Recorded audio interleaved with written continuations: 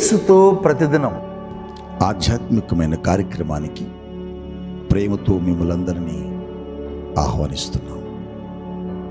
ఎలా ఉన్నారు? ఉదయకాలమే లేవగాని దేవుని సన్నిధిలో గడుపుచున్నారా? దేవుని వాక్యాన్ని క్రమము తప్పక ధ్యానం చేస్తున్నారా? మీరు మీ పిల్లలు మీ కుటుంబ సభ్యులందరూ కలిసి ఉదయకాలమే కొద్ది నిమిషాల పాటైనా ప్రభువుని మీ స్వరాలతో స్తుతించాలి. రండి. మీ కొరకు గడిచిన రాత్రి కాలమంతా ప్రార్థించి ఈ ఉదయకాలపు వేళ దేవుని సన్నిధి నుంచి ఒక ప్రత్యేకమైన సందేశాన్ని వాగ్దాన రూపములో మీ కొరకు తీసుకుని వచ్చాను. చూద్దామా బైబిల్ గ్రంథం? కీర్తన గ్రంథంలో ఇరవై మూడవ అధ్యాయము మొదటి వచ్చిన భాగంలో పరిశుద్ధ బైబిల్ గ్రంథం నీతో ఈ రీతిగా మాట్లాడుతుంది.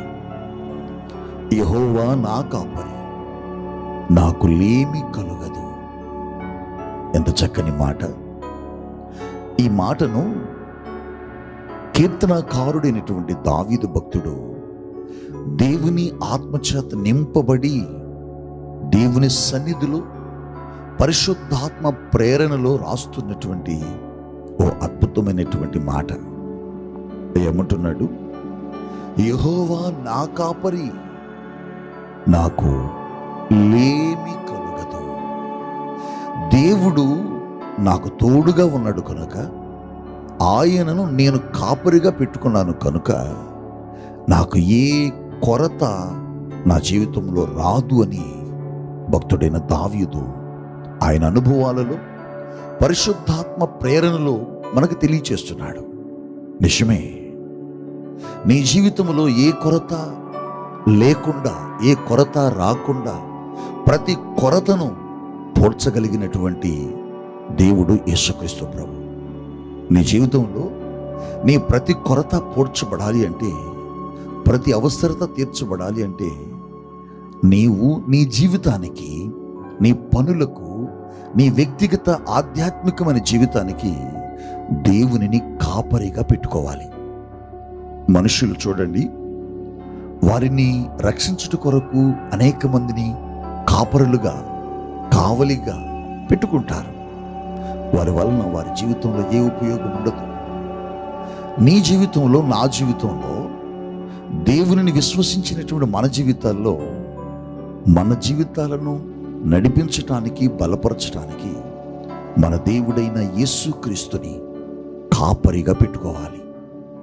మనుషుల్లో కాదు బంధువుల్ని కాదు స్నేహితుల్ని అంతకంటే కాదు. నీ జీవితానికి కాపరిగా ఏసయ్య ఉంటే నీ జీవితంలో ఏ కొరత ఉండటానికి వీల్లేదు. ఆయన ప్రతి కొరతను పూడ్చి నీకు తోడుగా నడుస్తాడు. చూడు నాన్న కాపరిగా దేవుణ్ణి దావీదు పెట్టుకున్నాడు. దావీదు తన జీవితంలో చేసిన ఒక అద్భుతమైనటువంటి పని ఏంటంటే తన జీవితానికి ఏ మనుషుడు కాపరిగా ఉన్న ఉపయోగం లేదని తన జీవితానికి దేవుడే కాపరిగా ఉండాలని దేవునిని కాపరిగా పెట్టుకున్నాడు. కాపరి ఎక్కడుంటాడు? ఓ గొర్రెల మంద నడుస్తూ వెళుతున్నప్పుడు ఆ గొర్రెల మందును కాచే కాపరి ఎక్కడ నడుస్తాడంటే కాపరి ముందు నడుస్తాడు. కాపరి ముందెందుకు నడుస్తాడంటే ఆ గొర్రెలకు మార్గములను చూపుకుంటూ వెళ్ళటానికి. నిజమే కాపరి ముందుంటాడు.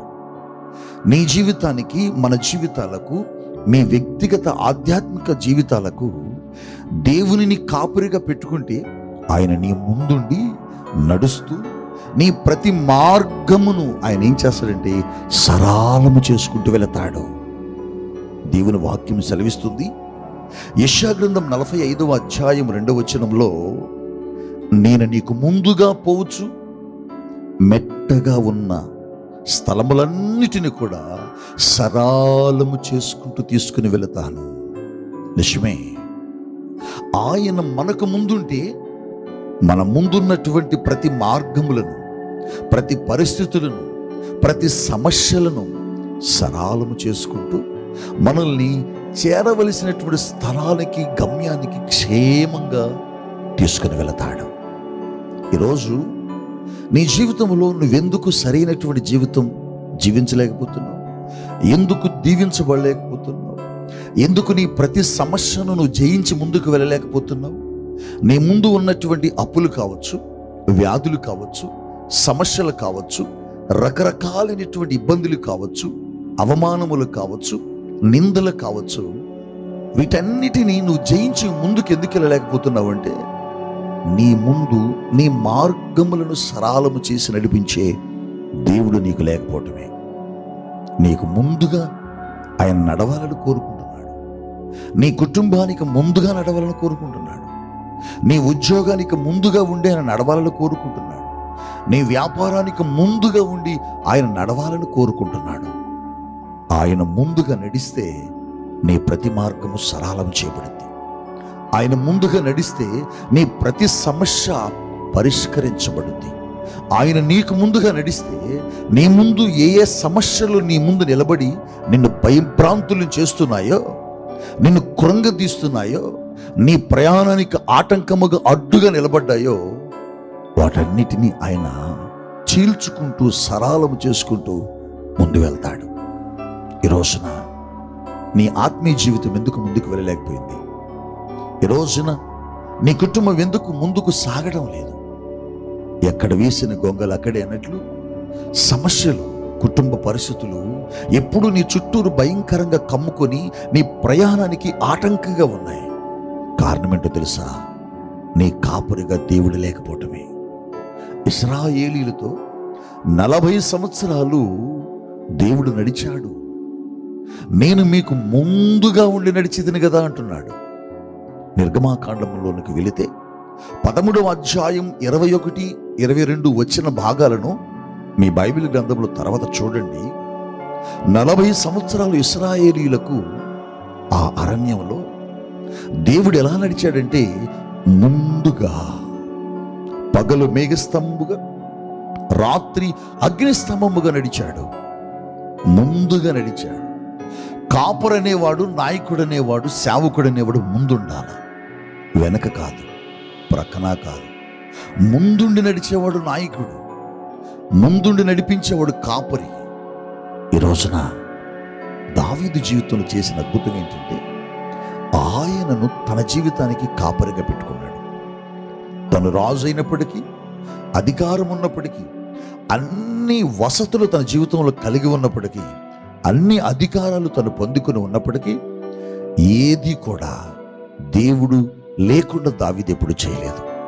తన జీవితంలో ఎక్కడికి వెళ్ళాలన్నా దేవుని అనుమతి తీసుకుని వెళ్ళేవాడు. తన జీవితంలో ఏం చేయాలన్నా దేవుని అనుమతిని కోరి తీసుకుని జరిగించేవాడు దావీదు.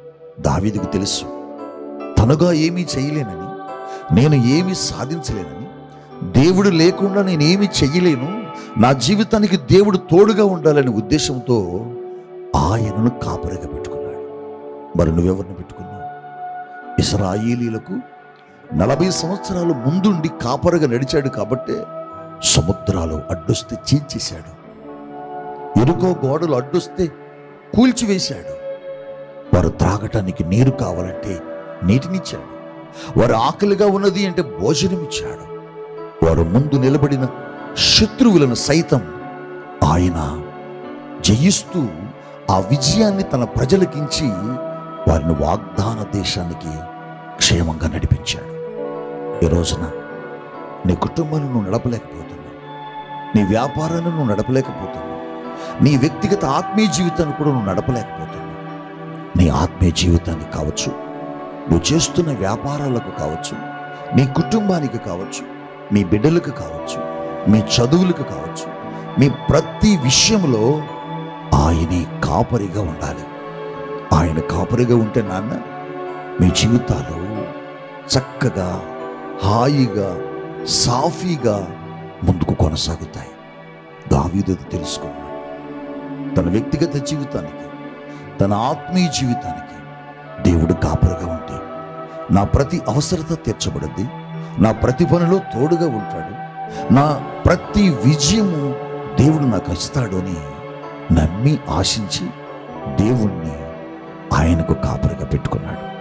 అందుకోసమే నాకు ఆయన కాపరిగా ఉండగా. నాకు లేమి కలగదు. లేమి అంటే కొరత ఉండదు ఇక. ఇంకే సమస్య ఉండదు. ఇంకే బాధ ఉండదు. ఏ ఇబ్బంది ఉండదు. ఆయన నాకు తోడుగా ఉండగా నేను భయపడవలసిన అవసరం లేదు అంటున్నాడు. నిషునాన్న దేవుడు నీకు తోడుగా ఉంటే నువ్వు భయపడాల్సిన పని లేదు.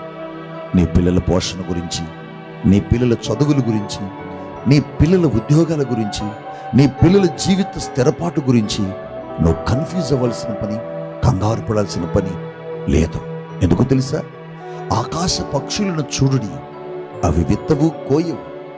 ఇదిగో వాటికంటే మీరు శ్రేష్ఠులు కారా? వాటిని పోషించు దేవుడు మిమ్మల్ని పోషించడాని దేవుడు మాట్లాడుతున్నాడు.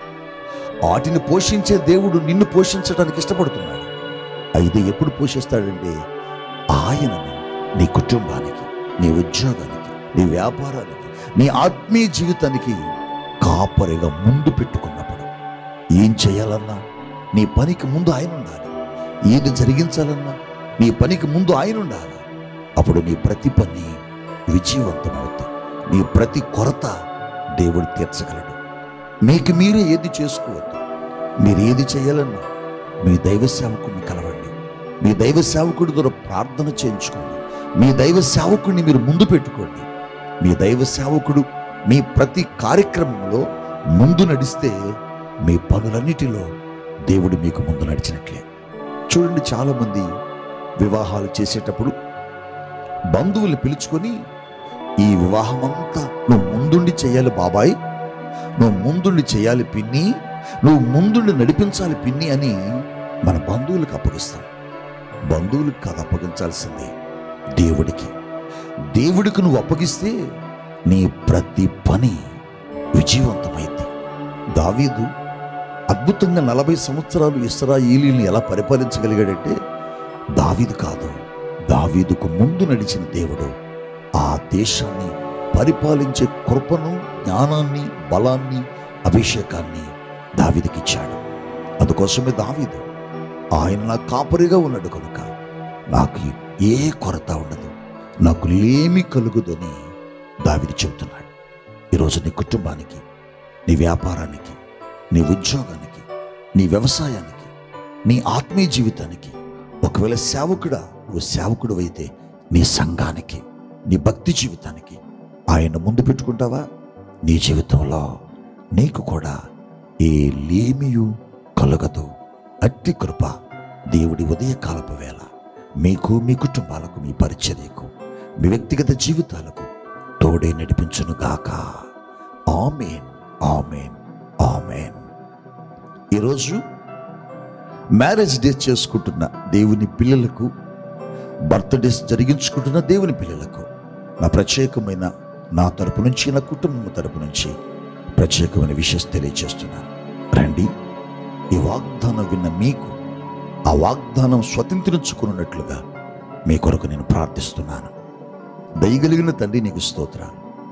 ఈ ఉదయపు వేళ నీ బిడ్డలు ఏ వాగ్దానాన్ని విన్నారు ఆ వాగ్దానం వారి జీవితాల్లో స్వతంత్రించుకొనుగాక. యహోవా నా కాపరి నాకు లేమి కలుగుదు అని దావిదు చక్కటి మాట మాట్లాడుతున్నాడు. నిజమే నిన్ను కాపరిగా పెట్టుకుంటే ఏ కొరత మాకుండదు.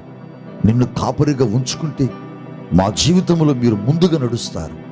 మాకున్న సమస్యలు మాకున్న ఇబ్బందులు మాకున్నటువంటి ప్రతి విధమైనటువంటి ఆటంకాలను మీరు తొలగిస్తూ మమ్మల్ని నడిపిస్తారు. ఈ వాగ్దాన్ని ఎంతమంది బిడ్డలు విన్నారు? వారి జీవితాలతో నెరవేర్చండి. ఈరోజు ఎక్కడెక్కడికి వెళుతున్నారు నీ పిల్లలు? ఏ ఏ స్థలాలకు వెళుతున్నారు నీ బిడ్డలు? వారి ప్రయాణాల్లో పనుల్లో తోడుగాను సహాయకులుగా ఉండి నడిపించమని యేసునామంలో ప్రార్థించి నీ బిడ్డలను దీవిస్తున్నాను తండ్రి. Amen. Amen. Amen. May God bless you have a nice day